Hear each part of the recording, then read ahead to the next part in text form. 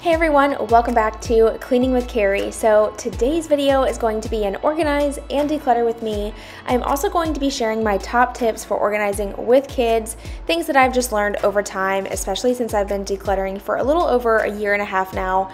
I've definitely learned what works and what doesn't work for our family, but I'm gonna share with you a few ideas in case you may be stuck in a rut and can't figure out where to begin. Hopefully this video helps you out. Alright, so today's video I'm going to be focusing on my daughter's bedroom. I actually have a bedroom makeover coming up on this room. I will be doing some painting and a whole new bedroom refresh. So in order to do that, I really wanted to have a clean, organized space to start with. So my main focus today is this bedroom, but I will be working on my son's room as well.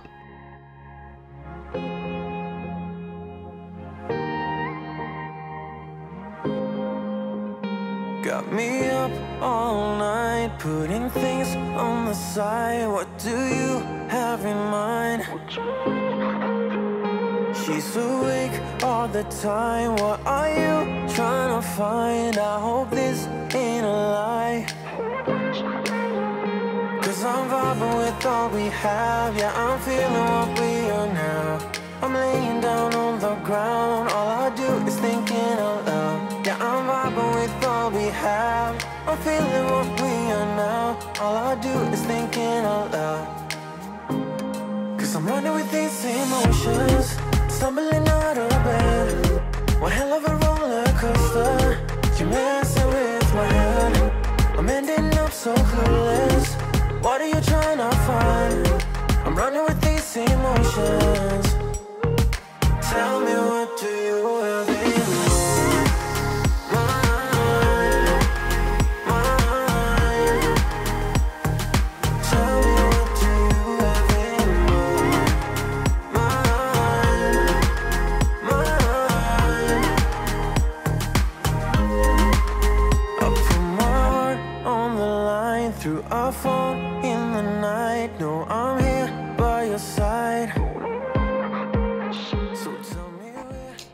many of you may have noticed that I skipped a week last week. I did not post a cleaning video.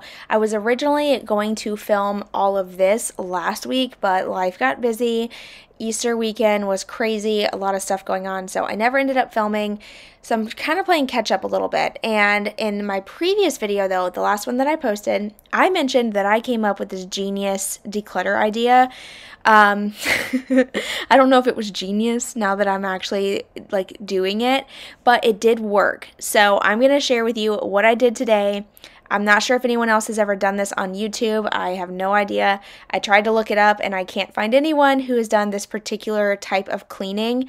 So I'm not taking credit for this, but I'm just saying this was just this was my idea.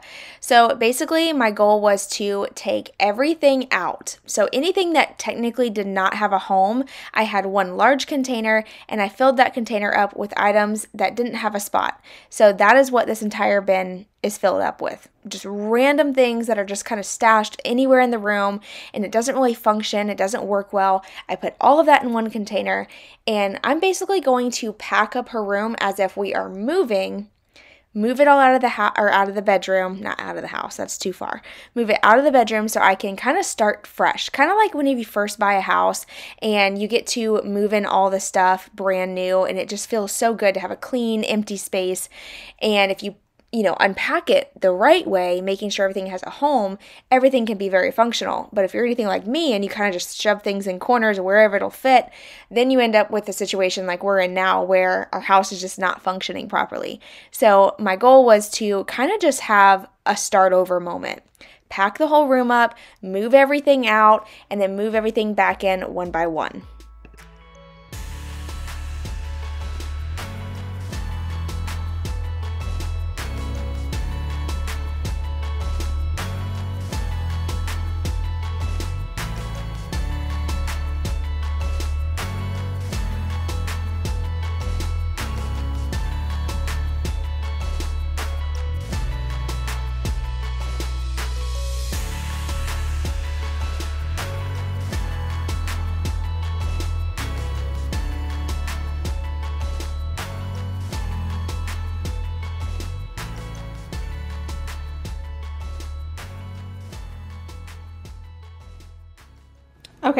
So, so far, both nightstands are empty.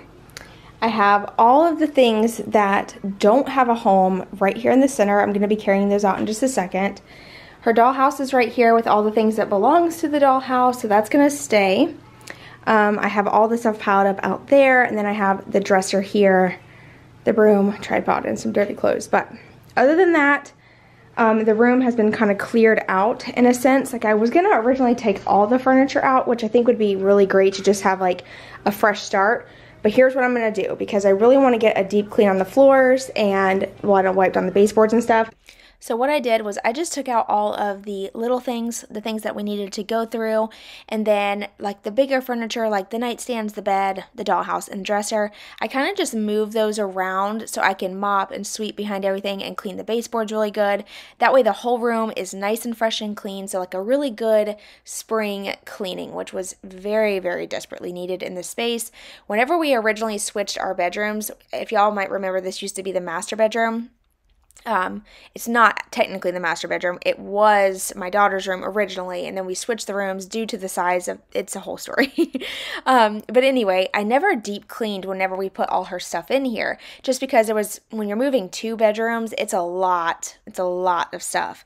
Um, so I would definitely recommend if you are going to do this, Focus on one little space at a time. Even if you start with one half of the room at a time, try not to overwhelm your space or overwhelm yourself because then I feel like it just turns into one of those moments where you start and you're like, why did I get myself into this? I cannot tell you how many times I've done that. I even did that with this on this day, believe it or not. I got everything out and I was like, oh my gosh, I'm wore out just from getting everything out. But once I got in the groove of going through everything, it made a huge difference doing it this way versus me like sitting on her floor and trying to find spots for everything. Taking it all out really just made us realize that, okay, we really don't need all this stuff in this room. It just has accumulated, and we've made homes for some things like shove stuff in the nightstands, on top of the dollhouse, in like little cubbies that we find. But in reality, those things are really never touched and never used. So getting them all out of the house, uh, out of the bedroom even though it was a lot of work, I feel like it was so necessary to kind of have that separation from things you actually need and things you don't. By the way, in just a few minutes, I will be going over my other tips with decluttering and organizing with kids. Um, I know how hard it can be when your kids are at home with you or trying to help you, and I know that can be like a daunting challenge, but hopefully, these tips will kind of give you some ideas and help you out a little bit. Are you supervising? Huh? Are you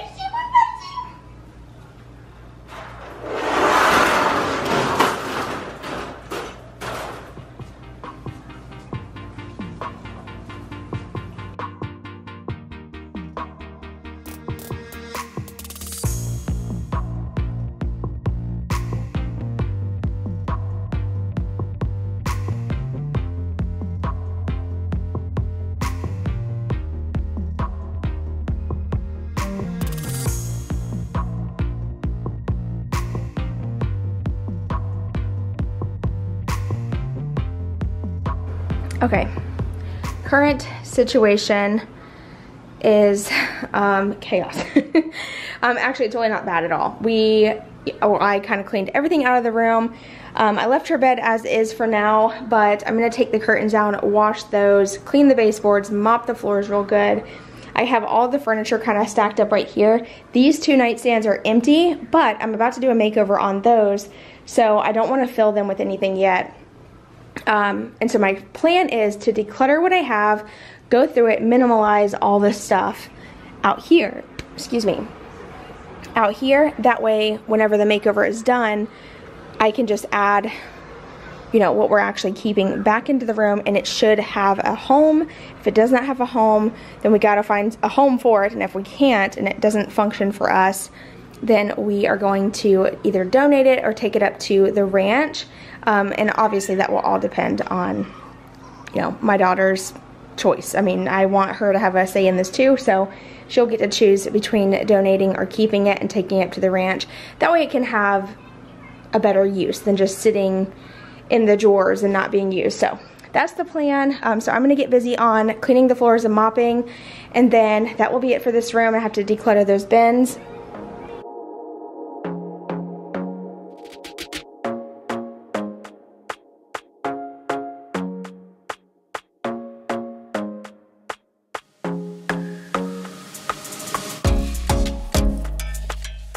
So I started off by cleaning the baseboards just using some pine glow inside of a older spray bottle that I have just an old rag and I'm just going to clean the baseboards really good.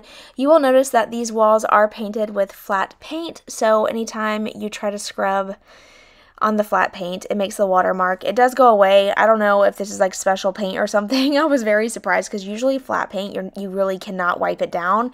However, the spots did go away. They dried and the, the wall looked brand new. I don't know. I can't tell you why that worked for me. I don't recommend. If you have flat painted walls, do not do that because it will stain your wall.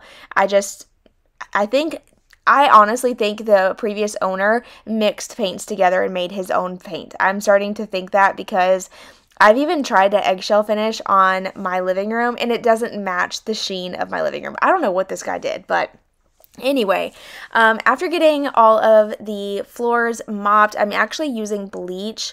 Um, I don't always do this. I just use like a tiny bit of bleach sometimes, but yeah, I don't recommend doing that on a regular basis. I just, like I said, I wanted to get a really good disinfectant clean, and I switched to the mop because I wanted to do the bleach. I was originally using the Bissell Crosswave, and then I was like, no, I really want to bleach these floors today. So I put that up and went ahead and went in with my O-Cedar mop with a splash of bleach and water and got the bedroom disinfected for sure and nice and clean.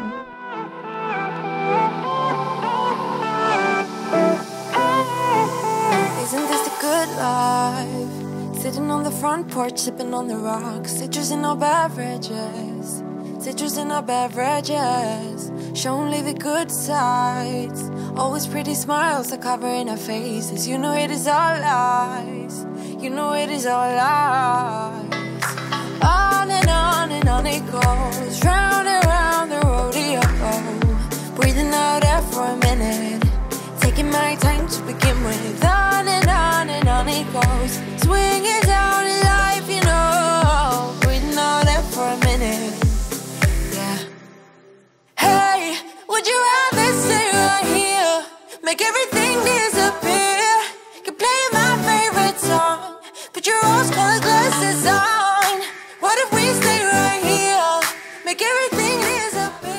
Alright, so here's a quick overview of the room. As you can see, there is nothing in here except for the furniture and the one dollhouse. That's the only toy that's in the room, which is super nice because now we get a fresh start. So we're going to move out to the living room and start sorting through all the toys. Now, this bin was all of the little trinkets. So all of the bows, all of the Barbie doll stuff, all those little things that get messy so fast.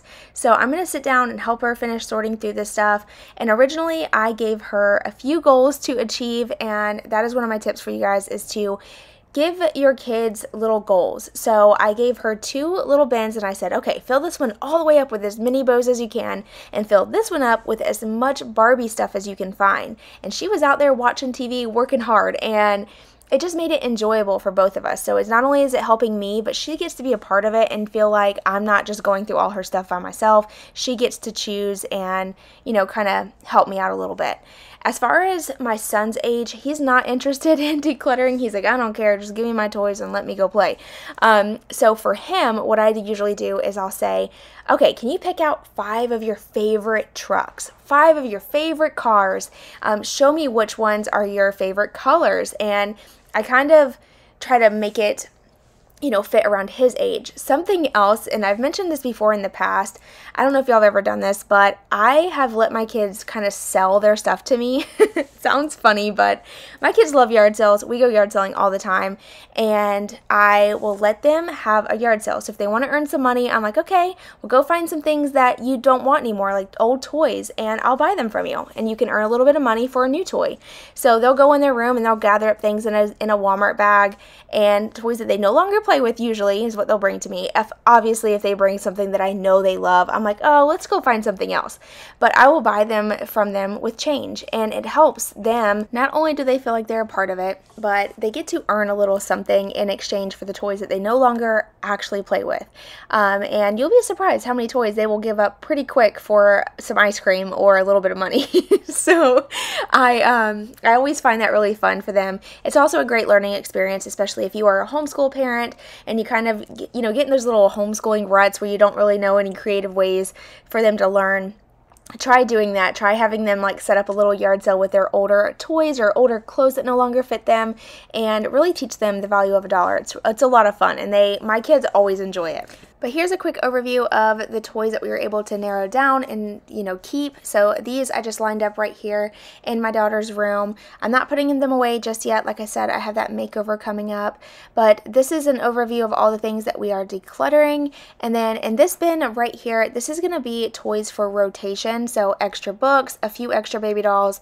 So that way when the ones that she has out get a little boring, we can just grab from this container and, you know, just kind of have like a little rotating system. Okay. So I'm now in my son's room and I'm going to do his room a little bit different. He doesn't have as much stuff and his room is pretty organized um, other than all his drawers are wide open. um, but I recently went through his closet and got rid of a lot of stuff. We just have a little bit of things in here, but that stuff's fine. Um, it's what's in this bin and everything that kind of just gets thrown around. The books especially, you can see they never end up right. So I'm just going to pick out a handful of them and the rest I'm going to put in this bin. But this bin is going to go underneath his bed and he's never going to know because I'm going to do this before he wakes up.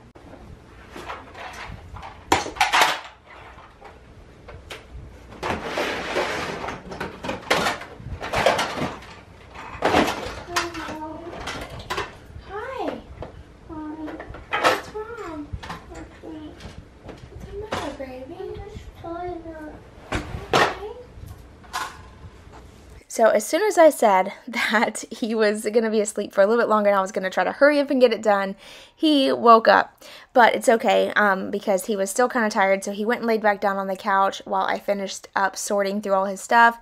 And the reason I did this without him in here today was because I really wanted to organize everything. And sometimes it's hard when you have like your little ones grabbing at the things you're trying to organize because they start seeing toys that they want to play with and they take off with it and then they come back and they grab a new toy and you're trying to like figure out a good system so you kind of need all the things in front of you not spread out through the house so it's easier if I do this during nap time whenever he's not in here so I can get everything sorted out and uh, in a way that I know it's going to work and function for him too and be easy for him to clean. And that is another reason why I decided to start doing the rotation system. So I actually follow the Minimal Mom. I've talked about her on my channel before and I'll link it below. Her name is Dawn and she always talks about how if you have less inventory, your life is just like a lot less stressful and your kids don't need to have a hundred books or a hundred different cars.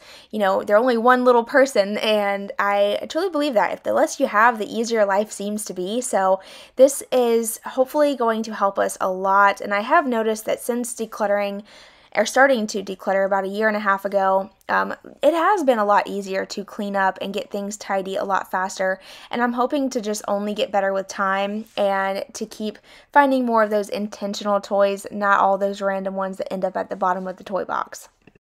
Okay, so now this is how I have it set up.